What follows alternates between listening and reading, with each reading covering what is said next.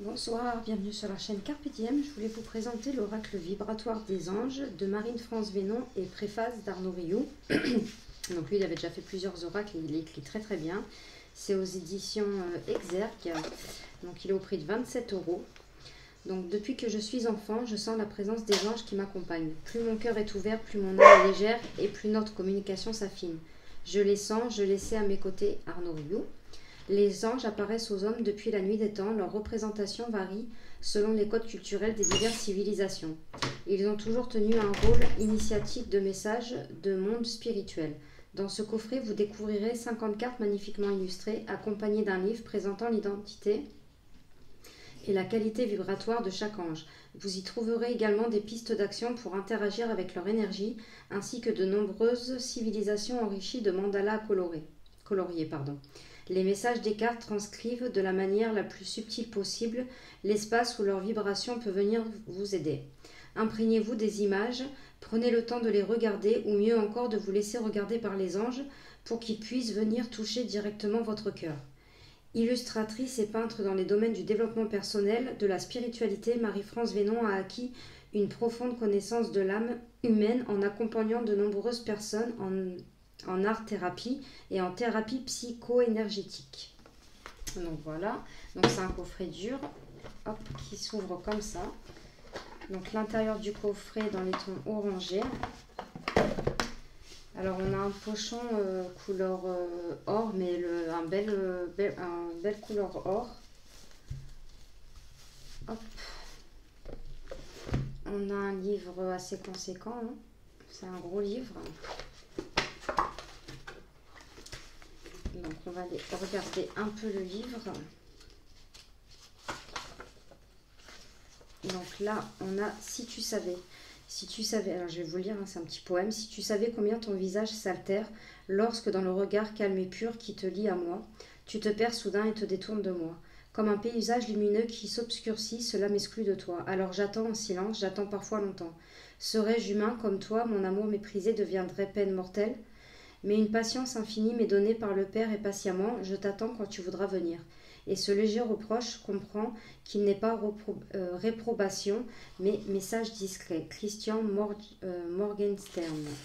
Donc là, après, on a le sommaire avec une préface, donc l'introduction, l'oracle des anges, la loi du don, les cartes, conseils pour questionner efficacement l'oracle, définir un objectif personnel, matériel ou professionnel, le fonctionnement du processus créatif, après, on a différents tirages à une, deux, trois cartes.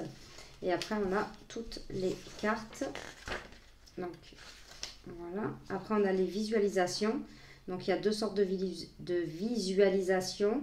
Déroulement d'une visualisation mentale et déroulement d'une visualisation intuitive. Préparation visualisation proposée dans le texte. Donc, la phrase préparatoire, détente et camp de base. Euh, visualisation, je vais y arriver, mentale visualisation d'objectifs, de retrouver son calme. Après, pour la visualisation intuitive, on a l'objectif 1, 2. Euh, pour, régénérer, euh, pour se régénérer grâce à la source, pour entrer en contact avec l'énergie des anges. Et enfin, on a tout ça. Après, on a les mandalas. Alors là, on a un petit préface. Je vais vous lire une petite partie parce que sinon la vidéo va être longue. Donc, nous rencontrons tous à différents moments de notre existence nos moments de solitude, pendant lesquels nous ressentons un besoin de réconfort, de soutien, d'inspiration ou simplement de contact. Nos amis sont bienvenus alors, mais parfois notre demande est si intime qu'elle se joue sur un autre plan. C'est dans ces moments-là que nous pouvons faire appel à nos anges. Les anges nous accompagnent au quotidien, ils ont mission de nous soutenir, de nous inspirer, ils agissent si subtilement que notre sensibilité doit s'allier à notre cœur pour les percevoir. Bien que leur présence soit inspirante, nous conservons toujours notre libre arbitre pardon, dans nos choix et dans nos actes. Donc voilà, donc c'est toujours euh, Arnaud Rio qui écrit. On a une introduction. Donc euh, elle est assez longue quand même. Hein. On a l'oracle vibratoire euh, des anges. Donc je vais vous lire un petit passage. L'oracle vibratoire des anges n'est pas un outil de prédiction du futur. Bien au contraire, son objectif est de soutenir chacun en tant qu'individu libre et conscient de son destin afin qu'il puisse apporter une contribution positive à l'évolution de notre monde. Les anges qui s'expriment au travers de ce jeu proposé ici ont chacun une qualité vibratoire qui leur est propre et qui définit leur identité. Les mots et les messages des textes transcrivent de la manière la plus proche possible de ma part l'espace où leur vibration peut venir vous aider. Les images qui les représentent sont tout autant importantes que leurs messages. Prenez le temps de les regarder ou mieux encore de vous laisser regarder par les anges pour qu'ils puissent venir toucher directement votre cœur. Donc là, il explique que cet oracle va vous soutenir intérieurement et renforcer ou approfondir votre intuition afin qu'elle puisse vous guider au mieux. Prenez le comme un outil d'orientation et de soutien, utilisez-le comme vous le feriez d'un instrument de musique. Sa, pratique régulière favorisera une connexion très, très étroite pardon, et une harmonisation entre les anges et vous. Laissez-vous le temps de vous accorder mutuellement pour que l'énergie circule. Les textes vous aideront à entendre le sens de cette musique particulière à chaque ange. Votre intuition vous apportera la compréhension de ce qu'il souhaite vous révéler de manière intime. Donc voilà, la loi du don. Donc, euh, je vais vous dire vite fait ça. La loi du don a un rôle essentiel dans cet oracle. C'est une des clés de la transmission des énergies par les anges. C'est une loi spirituelle connue de l'humanité depuis la nuit des temps, une loi de dynamique et d'équilibre énergétique entre tous les plans de l'univers. C'est la loi d'incarnation des énergies spirituelles, on pourrait la résumer ainsi. Donc là, euh, je vous donne le premier exemple.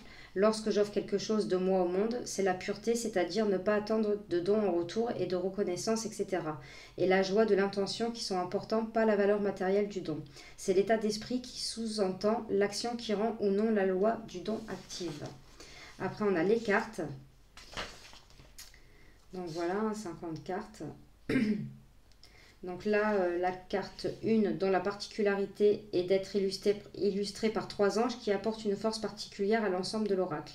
Vous pouvez la poser devant vous. Avant chaque tirage, vous la laissez dans le jeu, inspirée de l'icône de la Trinité. Donc je vais vous la montrer quand même.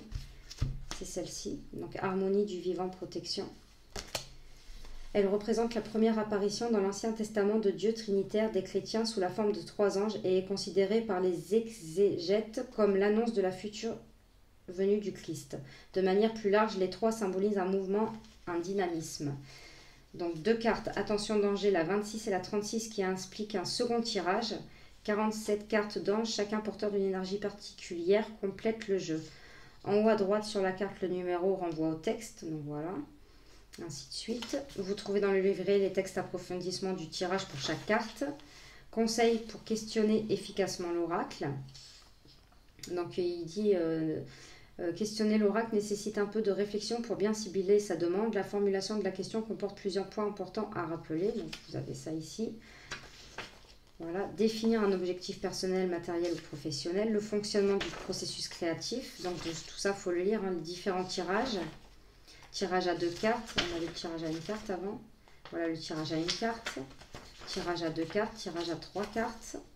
Donc il n'y a pas les dessins, mais c'est expliqué euh, les tirages. Et là, on a les significations des cartes. Donc on retrouve l'illustration de la carte, le titre, un petit texte et la description de la carte, la symbolique, l'énergie, les couleurs, le mot-clé, le message, le sens du message et des mots, le sens du tirage. Donc vous voyez, il y a pas mal de choses et pistes de réflexion et pistes d'action possibles. Et en fait, à la fin, on vous renvoie au mandala. Donc voilà, et à la fin, on a un tableau. Donc on a à propos de l'auteur et le tableau euh, récapitulatif des tirages. Vous voyez, je ne sais pas si vous voyez bien. Après, tableau euh, récapitulatif des anges. Vous voyez, l'ange protecteur, action, guidance, avec le numéro de la carte, les couleurs. Il y a, à la fin, ça reprend. Euh, et là, pour contacter l'auteur.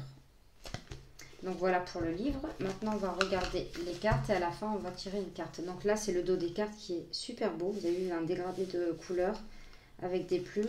Les tranches sont dorées. Et par rapport à un tarot,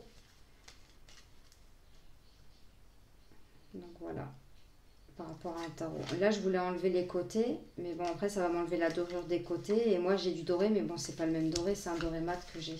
On n'arrive pas à trouver. Enfin, dites-moi, vous, en, commentaire, si vous avez réussi à trouver un doré brillant comme ça, mais je pense pas. Hop. Donc, là, on a les trois anges, le scribe. Elles sont vraiment très belles, les cartes. Et la qualité, oui, elle est très bonne. L'ange des équilibres, Donc après, il y a des mots-clés en dessous aussi. L'ange du respect, l'ange de vie, le protecteur de vie, regardez comment c'est beau, l'archange, l'éveilleur,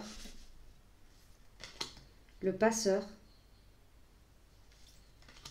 l'ange de la rencontre, l'ange qui efface, l'ange de la connaissance, l'ange de la miséricorde, l'ange au sourire,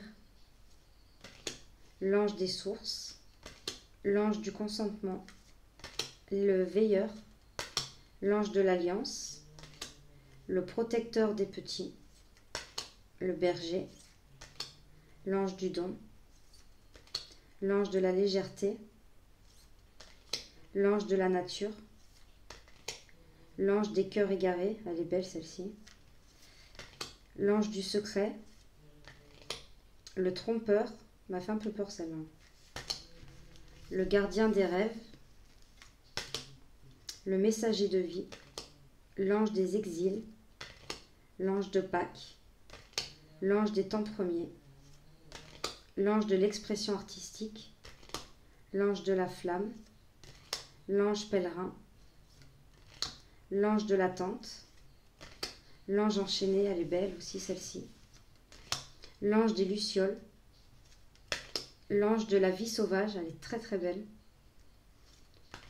l'ange du cœur de la vie, bah, moi je les trouve euh, toutes belles, hein, j'aime beaucoup, hein. l'ange enseignant, l'ange cueilleur, l'ange des cathédrales, l'ange des labyrinthes, l'ange du centre du cœur, l'ange des silences, l'ange gardien, l'ange du pardon, l'ange des dévoilements, l'ange des arts sacrés, l'ange de la paix.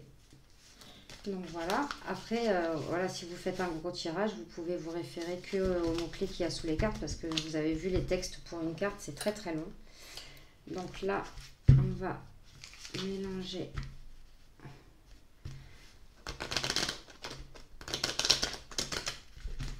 le jeu. Et on va aller... Bon, comme je m'en sers, m'en sers pas beaucoup, enfin je m'en suis servi au début, ça fait un petit moment que je l'ai celui-ci, donc du coup, il faut le temps que les cartes, avec le brassage, elles se fassent.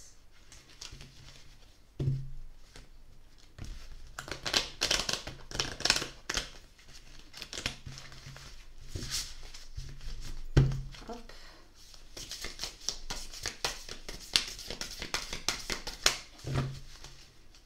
Bon, ça ne veut pas sauter, on va aller la chercher.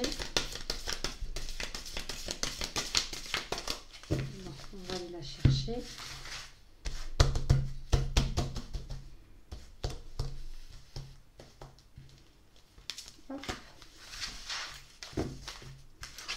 Alors, l'ange des exils, la délivrance et certitude.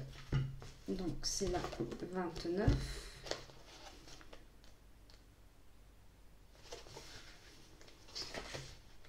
Hop. Donc, c'est celle-ci. Ah non, même pas. Alors attendez, il doit y avoir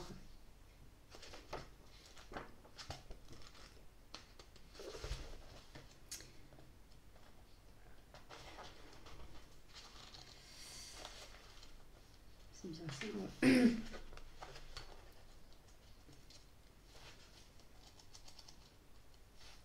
ah bah oui, mais il doit y avoir une erreur sur le numéro de la carte. Alors attendez, hein, je vais regarder, on va aller la chercher dans le sommaire. Euh, vous voyez, j'avais pas vu. Alors désolé, c'est le temps que je la cherche. Page 186. Ah oui, non, c'est ça, 29. Donc en fait, il doit y avoir deux parties. Euh, ou alors c'est moi qui a mal... Euh, bon, je sais pas.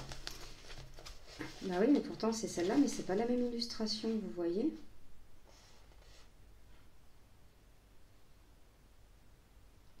C'est trop bizarre. Attendez, je regarde si, si je vois celle-ci. Euh, si, admettons, je prends la 22. désolée. Ah oui, pourtant, c'est là l'illustration, elle est bien reprise. Donc en fait, il y a bien une erreur euh, avec le chiffre et euh, la carte. Bon, va falloir que je regarde ça plus attentivement. Bon, je regarderai après, je vais vous lire le message. Alors, l'ange des exils se découpe sur fond de nuit. Ses cheveux sont blancs. Ouais, donc c'est bien bien celle-ci. C'est juste là, ils se sont trompés sur l'illustration. Ses cheveux sont blancs, son regard exprime un appel intense et il semble attendre. Il tient dans ses mains un labyrinthe semblable à celui de la cathédrale de Chartres. Donc c'est ça.